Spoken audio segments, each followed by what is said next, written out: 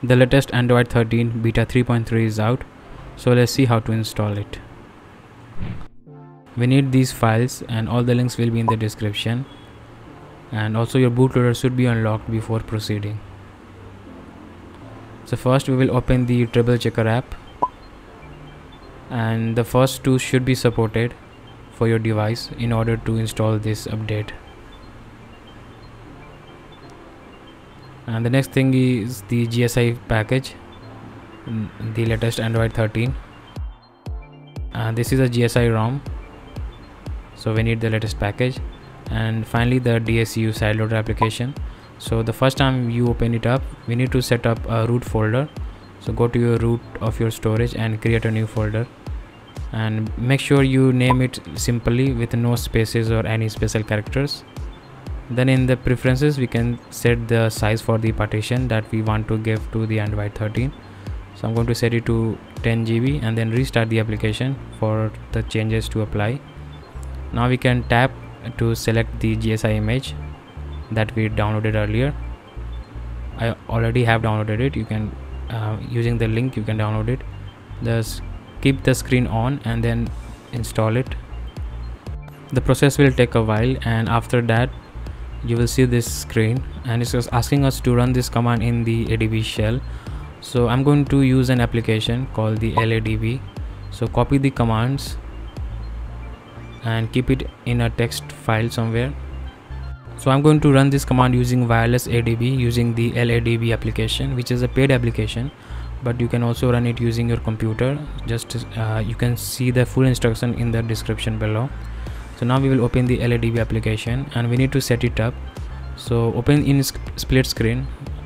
Otherwise uh, the codes might get disappeared.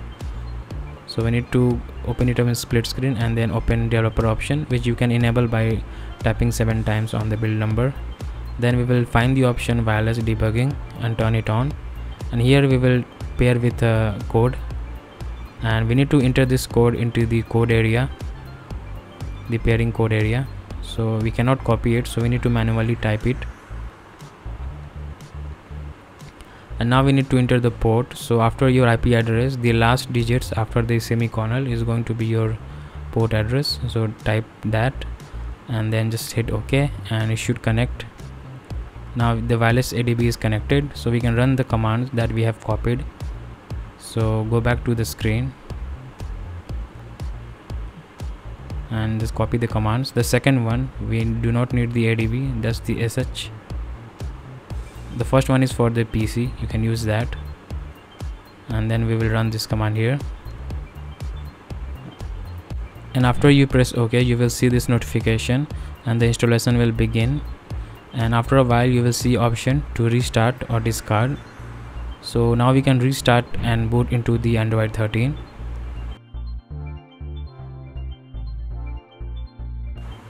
you can see the bootloader warning. I'm using the motorola g5g or 15gs and we have the google logo. It might restart again.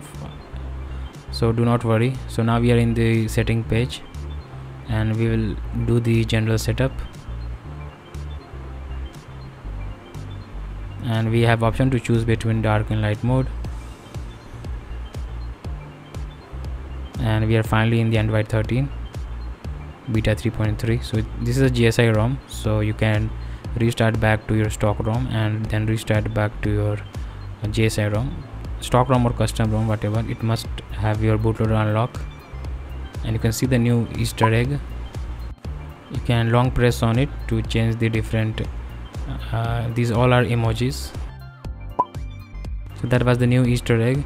And that was also how you can install the gsi rom for the latest android 13 3.3 and the stable should be out soon and i will make a video about that as well. So thank you for watching and i'll see you in the next one